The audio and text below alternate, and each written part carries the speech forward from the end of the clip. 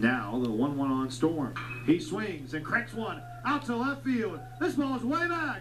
Adios, pelota! A towering fly ball into the left field pine trees for Luke Storm. A three run shot and an exclamation point for Duke on this eight run eighth inning.